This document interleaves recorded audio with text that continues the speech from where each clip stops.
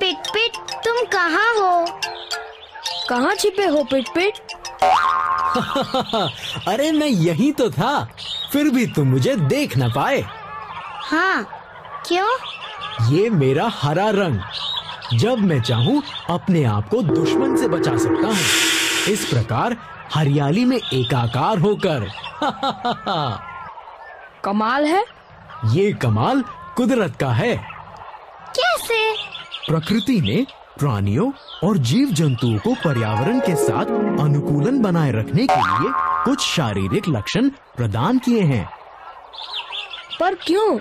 इन लक्षणों से वे अपने आप को शत्रु से बचाए रखते हैं उसे धोखा दे सकते हैं मौसम से जूझ सकते हैं और अपने साथियों को आकर्षित भी करते हैं। ये शारीरिक लक्षण सब एक से होते हैं क्या? नहीं, अनुकूलन अर्थात एडेप्टेशन के कई प्रकार हैं। जैसे सुरक्षा के लिए शरीर कवच, बाल या पंख आदि। कुछ प्राणी मिमिक्री या ढोंग करने की क्षमता रखते हैं और कुछ मेरे जैसे सुरक्षात्मक रंग आयोजन, यानी प्रोटेक्टिव कलरेशन का सहारा लेते हैं। पर कुछ प्राणी समय समय पर गायब क्यों हो जाते हैं? इसे माइग्रेशन कहते हैं।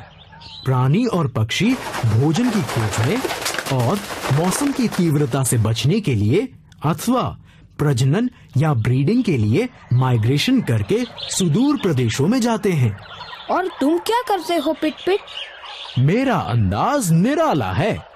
हम गाढ़ निद्रा यानी हाइबरनेशन में चले जाते हैं।